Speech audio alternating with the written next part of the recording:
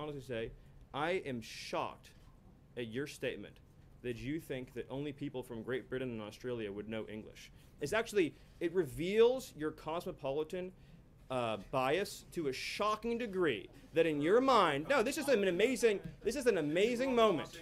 This is an amazing moment that you think only people from Great Britain or Australia would speak English is so insulting to millions of hardworking immigrants who do speak English from all over the world. Jim, have you honestly, Jim, have you honestly never met a an immigrant from another country who speaks English outside of Great Britain and Australia? Is that your personal experience? Of course, there are people who come. But that's not what you said, parts of the and it shows it shows your cosmopolitan bias. And I just want to say, engineer I racial and ethnic flow.